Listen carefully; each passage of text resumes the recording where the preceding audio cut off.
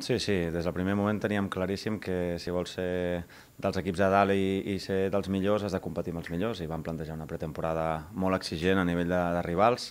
Segurament el primer ens va arribar una miqueta massa d'hora a nivell de planificació, però, però la resta hem anat de menys a més i vam acabar molt bones sensacions al camp del Villarreal. Sí, veiem el vestidor molt engrescat, molt, molt ficat, hi ha, hi ha moltes ganes de començar, perquè al final els punts és el que et dona una miqueta també la, la vida entre setmana,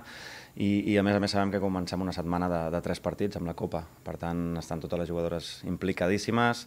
crec que el model de joc està bastant consolidat en, en línies generals eh, i arribem amb, amb molt bona predisposició i bona disposició també. No, no, de l'Albacete hem vist quatre partits, vull dir que hem tingut temps, coneixem les jugadores, coneixem una miqueta el seu pla de joc i sabem una miqueta el que ens trobarem aquí.